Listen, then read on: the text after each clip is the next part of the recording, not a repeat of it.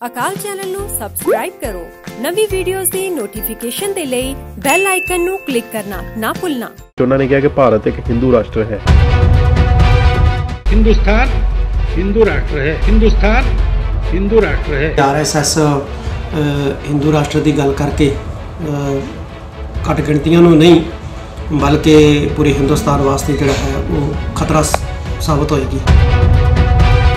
ਤੇ ਇਹ ਜਿੰਨੀ ਜਲਦੀ ਇਹਨੂੰ ਰੋਕਿਆ ਜਾਣਾ ਚਾਹੀਦਾ ਹੈ ਤੇ ਉਹਦੇ ਚੋਂ ਤਾਂ ਸਭ ਤੋਂ ਪਹਿਲਾਂ ਤਾਂ ਵੀ ਗ੍ਰਿਫਤਾਰੀ ਬਣਦੀ ਆ ਜਦੋਂ ਪਾਵਰ ਆ ਜਾਂਦੀ ਆ ਨਾ ਉਹ ਇਸ ਤਰ੍ਹਾਂ ਦੇ ਰੂਡਨੈਸ ਹਰੇਕ ਪਾਵਰਫੁਲ ਚ। ਪਿਛਲੇ ਦਿਨ ਜਿਹੜਾ ਹੈਗਾ ਆਰਐਸਐਸ ਦੇ ਮੁਖੀ ਮੋਹਨ ਭਾਗਵਤ ਉਹਨਾਂ ਦੇ ਵੱਲੋਂ ਇੱਕ ਸਮਾਗਮ ਅਟੈਂਡ ਅਟੈਂਡ ਕਰਦੇ ਹੋਏ ਉਹਨਾਂ ਵੱਲੋਂ ਇੱਕ ਬਿਆਨ ਦਿੱਤਾ ਗਿਆ, ਜਿਸ ਦੇ ਵਿੱਚ ਉਹਨਾਂ ਨੇ ਕਿਹਾ ਕਿ ਭਾਰਤ ਇੱਕ ਹਿੰਦੂ ਰਾਸ਼ਟਰ ਹੈ। ਜਿਸ ਦੀ ਕਿ ਕਾਫੀ ਸਾਰੀ ਧਿਰਾਂ ਨੇ ਜਿਹੜੀ ਹੈ ਵਿਰੋਧਤਾ ਕੀਤੀ, ਜਿਸ ਦੇ ਵਿੱਚ ਸਿੰਘ ਸਾਹਿਬ ਗਿਆਨੀ ਹਰਪ੍ਰੀਤ ਸਿੰਘ ਵੱਲੋਂ ਹੀ ਜਿਹੜਾ ਬਿਆਨ ਆਇਆ, ਔਰ ਉਹਨਾਂ ਨੇ ਇੱਥੋਂ ਤੱਕ ਬਿਆਨ ਦਿੱਤਾ ਹੈਗਾ ਕਿ ਆਰਐਸਐਸ ਇੱਕ ਦੇਸ਼ ਵਿਰੋਧੀ ਸੰਸਥਾ ਹੈਗੀ, ਔਰ ਇਸ ਤੇ ਜਿਹੜਾ ਬੈਨ ਲੱਗਣਾ ਚਾਹੀਦਾ। ਅਵਤਾਰ ਸਿੰਘ ਜੀ, ਕੀ ਕਹੋਗੇ ਤੁਸੀਂ ਦੋਨਾਂ ਬਿਆਨਾਂ ਨੂੰ? ਹਾਂਜੀ ਹਾਂਜੀ, ਪਹਿਲਾਂ ਤਾਂ ਆਪਾਂ ਲਗਾਤਾਰ ਇਸ ਮਾਮਲੇ ਤੇ ਇਸ ਪ੍ਰੋਗਰਾਮ 'ਚ ਗੱਲ ਕਰਦੇ ਆ ਰਹੇ ਹਾਂ ਵੀ ਉਹਨਾਂ ਨੇ, ਮੋਹਨ ਭਾਗਵਤ ਉਹਨਾਂ ਨੇ ਇਹ ਆਖਿਆ ਵੀ ਭਾਰਤ ਇੱਕ ਹਿੰਦੂ ਰਾਸ਼ਟਰ ਆ ਔਰ ਨਾਨ ਨੈਗੋਸ਼ੀਏਬਲ ਆ। ਜੀ। ਵੀ ਇਹਦੇ ਤੇ ਕੋਈ ਬਹਿਸ ਨਹੀਂ ਹੋ ਸਕਦੀ। ਜੋ ਅਸੀਂ ਕਹਿਤਾ ਸੋ ਕਹਿਤਾ ਅਸੀਂ ਸਮਝਦੇ ਹਾਂ ਵੀ ਇਹ ਨਾਨ ਨੈਗੋਸ਼ੀਏਬਲ ਇਸ਼ੂ ਤਾਂ ਹੈ ਹੀ ਨਹੀਂ। ਇਹ ਤਾਂ ਨੈਗੋਸ਼ੀਏਬਲ ਇਸ਼ੂ ਆ। ਤੁਸੀਂ ਟੇਬਲ ਤੇ ਆਓ।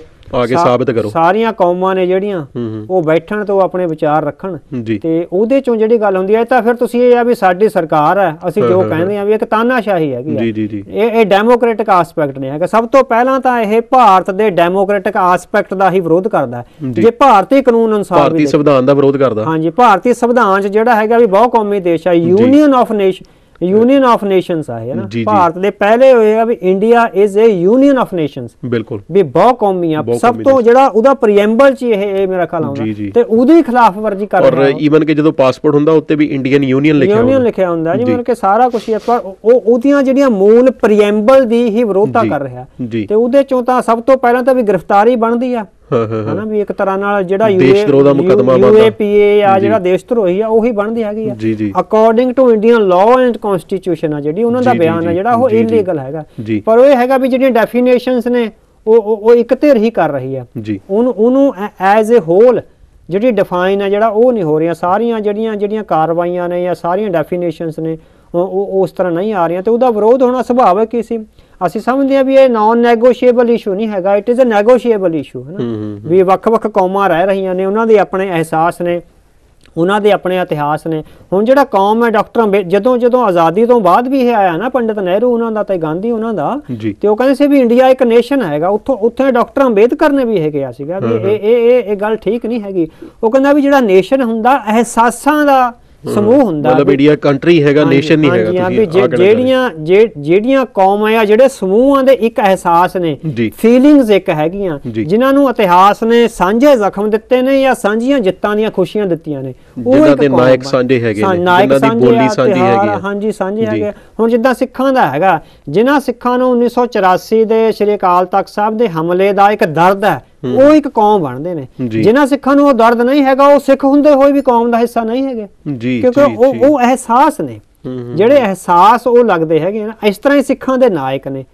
ਹਾਂ ਇਸ ਤਰ੍ਹਾਂ ਹੀ ਬੋਲੀ ਨਾਲ ਉਹਨਾਂ ਦਾ ਜਿਹੜਾ ਹੈਗਾ। ਸੋ। ਇੰਡੀਆ ਵਿੱਚ ਬਹੁਤ ਸਾਰੀਆਂ ਕੌਮਾਂ ਨੇ। ਸੋ ਅਸੀਂ ਸਮਝਦੇ ਹਾਂ ਵੀ ਇੱਕ ਇਹ ਨੈਗੋਸ਼ੀਏਬਲ ਇਸ਼ੂ ਆ ਨਾਨ ਨੈਗੋਸ਼ੀਏਬਲ ਨਹੀਂ ਹੈਗਾ।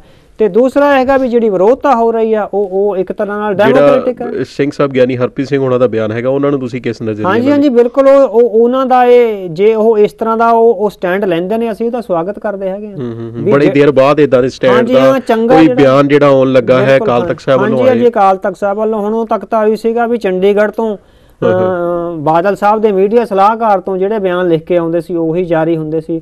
ਘੱਟੋ ਘੱਟੇ ਪੜ੍ਹੇ ਲਿਖੇ ਨੇ ਭਾਈ ਹਰਪ੍ਰੀਤ ਪਰ ਅਗਲੇ ਦਿਨਾਂ 'ਚ ਉਹਨਾਂ ਨੂੰ ਕਾਬੂ ਕਰ ਲਿਆ ਜਾਊਗਾ। ਇੱਕ ਜੀ। ਬਿਆਨਾਂ ਤੋਂ ਬਾਅਦ ਫਿਰ ਉਹ ਕਾਬੂ ਕਰ ਲੈਂਦੇ ਹੈਗੇ ਨੇ। ਤੇ ਹੁਣ ਅਗਲੇ ਦਿਨਾਂ ਦੌਰਾਨ ਜਿਹੜੇ ਬਿਆਨ ਆਉਣਗੇ ਉਹੀ ਤੋਂ ਉਲਟ ਆਉਣਗੇ ਸਾਰੇ। ਕਿਉਂਕਿ ਤੁਸੀਂ ਦੇਖ ਰਹੇ ਹੋ ਪਿਛਲੇ 20 ਸਾਲਾਂ ਤੋਂ ਜਿਸ ਤਰ੍ਹਾਂ ਮੈਨੇਜ ਹੋ ਰਿਹਾ ਨਾ ਵੀ ਉਹਦੇ ਚੋਂ ਇਹ ਹੈਗਾ ਹਾਂ ਪਰ ਇਹ ਜਿਹੜਾ ਉਹਨਾਂ ਦਾ ਵਰਤਮਾਨ ਬਿਆਨ ਆਇਆ ਅਸੀਂ ਸਮਝਦੇ ਹਾਂ ਵੀ ਠੀਕ ਹੈ ਵੀ ਘੱਟੋ ਘੱਟ ਚਲੋ ਜੇ ਪਾਬੰਦੀ ਨਹੀਂ ਲਾਉਣੀ ਅਸੀਂ ਨਹੀਂ ਕਹਿੰਦੇ ਵੀ ਮਤਲਬ ਕਿ ਅਸੀਂ ਵੀ ਉਸ ਤਰ੍ਹਾਂ ਦੀ ਲਾਈਨ ਲੈ ਕੇ ਆਈਏ ਹਨਾ?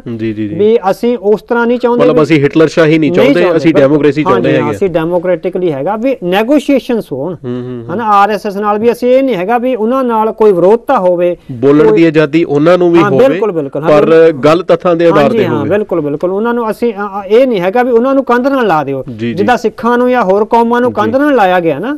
ਡੈਮੋਕ੍ਰੇਸੀ ਦੇ ਨਾਂ ਤੇ ਇਹ ਬਿਲਕੁਲ ਨਹੀਂ ਸਾਡੇ ਸਿੱਖਾਂ ਦੀ ਇਸ ਤਰ੍ਹਾਂ ਦੇ ਨਹੀਂ ਹੈਗੇ। ਗੁਰੂ ਸਾਹਿਬ ਨੇ ਇਹ ਸੰਦੇਸ਼ ਨਹੀਂ ਦਿੱਤਾ। ਜੀ। ਗੁਰੂ ਸਾਹਿਬ ਨੇ ਕਿਹਾ ਵੀ ਕੁਝ ਸੁਣੀਆ ਕੁਝ ਕਹੀਆ ਨਾਨਕ। ਲਗਾਤਾਰ ਜਿਹੜੀ ਡਿਬੇਟ ਆ ਉਹ ਚੱਲਣੀ ਚਾਹੀਦੀ ਹੈ। ਡਿਬੇਟ ਚੋਂ ਕੁਝ ਫਰੂਟਫੁਲਨੈਸ ਆ ਜਿਹੜੀ ਉਹ ਨਿਕਲਦੀ ਹੈਗੀ ਉਹ ਉਹ ਸਾਰਿਆਂ ਨੂੰ ਅਪਣਾ ਲੈਣੀ ਚਾਹੀਦੀ ਉਹ ਬਾਈਂਡਿੰਗ ਹੋਣੀ ਚਾਹੀਦੀ ਹੈਗੀ। ਸੋ ਇਹ ਚਲੋ ਅਕਾਲ ਤਖਤ ਸਾਹਿਬ ਵੱਲੋਂ ਇਹ ਆਉਣਾ ਉਹਨਾਂ ਨੇ ਸਿੱਖ ਕੌਮ ਦੀਆਂ ਜਿਹੜੀਆਂ ਭਾਵਨਾਵਾਂ ਉਹਨਾਂ ਦੀ ਤਰਜਮਾਨੀ ਕੀਤੀ ਹੈਗੀ ਆ। ਔਰ ਉਹ ਸਵਾਗਤਯੋਗ ਆ ਅਸੀਂ ਉਹਦਾ ਵਿਰੋਧ ਨਹੀਂ ਕਰਦੇ।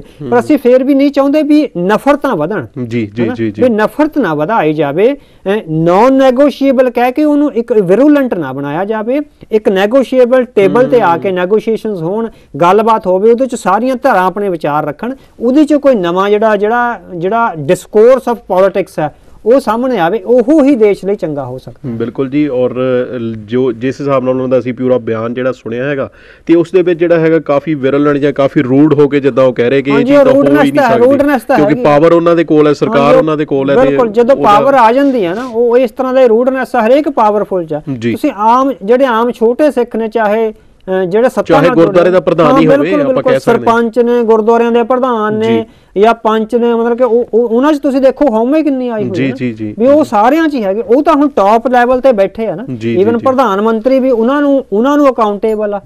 ਇਸ ਲੈਵਲ ਤੇ ਆ ਕੇ ਰੂਡਨੈਸ ਤਾਂ ਆ ਜਾਂਦੀ ਹੈ ਪਰ ਜਿਹੜਾ ਜਿਹੜਾ ਮੈਚੁਰ ਲੀਡਰ ਹੁੰਦਾ ਉਹਨੂੰ ਚਾਹੀਦਾ ਹੁੰਦਾ ਵੀ ਜੇ ਤੁਹਾਡੇ ਕੋਲ ਸੱਚ ਪੱਲੇ ਹੈਗਾ ਤਾਂ ਫਿਰ। ਤੁਹਾਨੂੰ ਟੇਬਲ ਤੇ ਆਉਣ ਤੋਂ ਨਹੀਂ ਚ- ਤੁਹਾਨੂੰ ਡਰਨ ਝੁਕਾਉਣਾ ਦੀ ਜਿਹੜੀ ਇੰਨੀ ਚਾਹੀਦਾ। ਲੋੜ ਨਹੀਂ ਹੈਗੀ ਤੇ ਵਰਲਡ ਇਕਨੋਮਿਕ ਫੋਰਮ ਦੇ ਵੱਲੋਂ ਭਾਰਤ ਦਾ ਜਿਹੜਾ ਆਪਾਂ ਕਹੀਏ ਕਿ ਨੰਬਰ ਹੈ 10 ਅੰਕ ਜਿਹੜਾ ਹੈ 10 ਨੰਬਰ ਹੋਰ ਥੱਲੇ ਜਿਹੜਾ ਚਲਾ ਗਿਆ ਹੋਇਆ ਹੈ ਜਿਹੜਾ ਹੁਣ ਦਾ ਭਾਰਤ ਦਾ ਨੰਬਰ ਹੈ 68ਵੇਂ ਨੰਬਰ ਤੇ ਜਿਹੜਾ ਭਾਰਤ ਦੀ ਇਕਨੋਮੀ ਹੈਗੀ ਹੈ ਅਵਤਾਰ ਸਿੰਘ ਜੀ ਕੀ ਥੱਲੇ ਜਾਣ ਦਾ ਕਾਰਨ ਕੀ ਹੈ ਕਿਉਂਕਿ ਵੈਸੇ ਤਾਂ ਸਾਰੀ ਦੁਨੀਆ ਵਿੱਚ ਥੋੜਾ ਰੈਸੈਸ਼ਨ ਦੇ ਝਟਕੇ ਮਹਿਸੂਸ ਕੀਤੇ ਜਾ ਰਹੇ ਜੀ। ਖਾਸ ਕਰਕੇ ਮੈਨੂਫੈਕਚਰਿੰਗ ਇੰਡਸਟਰੀ ਵਿੱਚ ਹੈ ਨਾ ਜਿਹੜੀ ਉਹ ਰੈਸੈਸ਼ਨ ਵੀ ਕਿਉਂਕਿ ਉਨੀ ਡਿਮਾਂਡ ਨਹੀਂ ਰਹੀ ਤੁਸੀਂ ਵਰਲਡ ਵਾਈਡ ਵੀ ਦੇਖੋ ਜਿਹੜੀਆਂ ਕਾਰ ਕੰਪਨੀਆਂ ਆ, ਹਨਾ, ਇਸ ਵੇਲੇ ਸਟਰਗਲ ਕਰ ਰਹੀਆਂ ਨੇ। ਆਟੋਮੋਬਾਈਲ ਇੰਡਸਟਰੀ ਬਹੁਤ ਵੱਡੀ ਪੱਧਰ ਤੇ ਸਟਰਗਲ ਕਰ ਰਹੀ ਹੈਗੇ ਆ। ਤੇ ਭਾਰਤ ਦਾ ਵੀ ਜਿਹੜਾ ਮੈਨੂਫੈਕਚਰਿੰਗ ਇੰਡਸਟਰੀ ਦਾ ਜਿਹੜਾ ਗ੍ਰਾਫ ਆ, ਉਹ 1.1% ਜਿਹੜੀ ਜੀਡੀਪੀ ਆ, ਉਹ ਥੱਲੇ ਆਈ ਆ ਇੱਕਦਮ। ਤੇ ਉਹਦੇ ਨਾਲ ਹੀ ਤੇ ਬਾਕੀ ਡੀਮੋਨਟਾਈਜੇਸ਼ਨ ਤੇ ਜੀਐਸਟੀ ਨੇ ਜਿਹੜਾ ਵਪਾਰਕ ਆਦਾਨ ਪ੍ਰਦਾਨ ਸੀ, ਉਹਨੂੰ ਇੱਕ ਤਰ੍ਹਾਂ ਨਾਲ ਆਪਾਂ ਕਹਿ ਸਕਦੇ ਹੈਗੇ ਆ ਵੀ ਪ੍ਰਭਾਵਿਤ ਕਰਿਆ ਹੈਗਾ।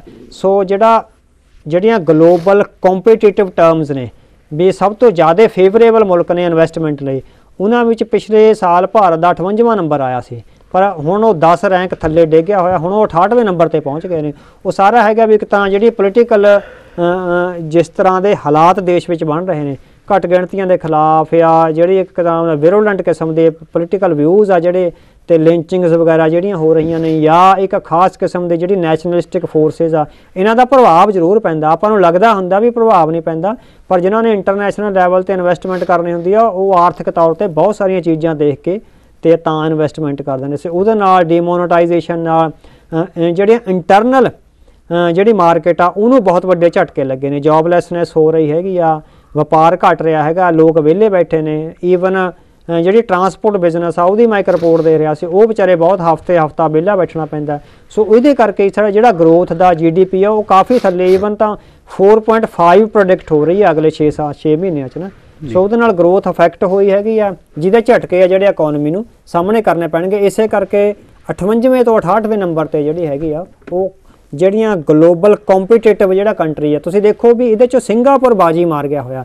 ਸਿੰਗਾਪੁਰ ਨੇ ਅਮਰੀਕਾ ਨੂੰ ਵੀ ਡਿਫੀਟ ਕਰਤਾ ਹੋਇਆ। ਹੁਣ ਸਿੰਗਾਪੁਰ ਪਹਿਲੇ ਨੰਬਰ ਤੇ ਆ ਗਿਆ ਹੋਇਆ, ਅਮਰੀਕਾ ਦੂਜੇ ਨੰਬਰ ਤੇ ਚਲਾ ਗਿਆ ਹੋਇਆ। ਸੋ ਫੇਵਰੇਬਲ ਕੰਟਰੀਜ਼ ਵਿੱਚ ਸਿੰਗਾਪੁਰ ਦਾ ਨੰਬਰ ਸਭ ਤੋਂ ਵੱਡਾ, ਉੱਚਾ ਹੈਗਾ ਤੇ ਭਾਰਤ ਦਾ 68ਵਾਂ ਨੰਬਰ ਚਲਿਆ ਗਿਆ ਹੋਇਆ। ਬਿਲਕੁਲ ਜੀ ਤੇ ਆਈਐਮਐਫ ਦੇ ਜਿਹੜੇ ਮੈਨੇਜਿੰਗ ਡਾਇਰੈਕਟਰ ਨੇ ਉਹਨਾਂ ਨੇ ਵੀ ਕਿਹਾ ਹੈਗਾ ਕਿ ਪੂਰੀ ਦੁਨੀਆ ਦੀ ਜਿਹੜੀ ਆਰਥਿਕ ਮੰਦੀ ਹੈ ਉਸ ਤੋਂ ਜਿਹੜਾ ਉਸ ਦਾ ਜਿਹੜਾ ਸਭ ਤੋਂ ਜ਼ਿਆਦਾ ਪ੍ਰਭਾਵ ਭਾਰਤ ਤੇ ਦੇਖਿਆ ਗਿਆ ਹੈ।